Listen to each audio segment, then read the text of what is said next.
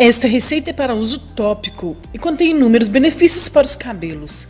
E uma de suas principais funções é parar a queda, fortalecer, combater a caspa e acelerar significativamente o crescimento dos cabelos. Anote os ingredientes: 2 colheres de sopa de gengibre ralado. O gengibre age nos folículos capilares, estimulando a circulação sanguínea e, consequentemente, o crescimento capilar. Além desse benefício, você também pode esperar fios mais fortes, hidratados e um couro cabeludo saudável, sem caspa ou quedas. Um dente de alho ralado.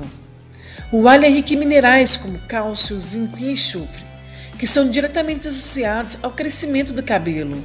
O alho cru é rico em vitamina C, que é muito boa para a saúde do seu cabelo. Também contém ação antifúngica e anti-inflamatória, que age diretamente no couro cabeludo, combatendo a caspa e a queda. 100 ml de soro fisiológico.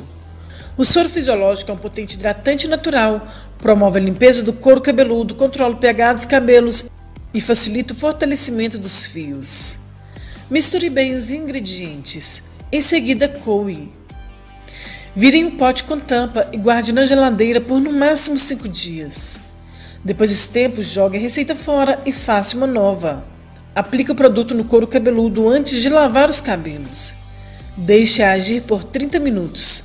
Depois desse tempo, lave bem os cabelos com o shampoo da sua preferência. Repita esse procedimento ao menos três vezes na semana para que os resultados sejam observados. Você gosta desse tipo de receita? Nos demonstre deixando um joinha no vídeo. E se você for novo, para que se inscreva, para não perder os vídeos novos do canal.